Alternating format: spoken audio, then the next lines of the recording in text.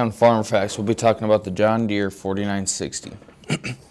the John Deere 4960 was produced from 1992 to 1994. It was part of the row crop series. It was produced by John Deere and built in Waterloo, Iowa. The John Deere 4960 came with a 6.7 liter, 6 cylinder diesel engine. The transmission on the 4960. It was a 15 speed full power shift.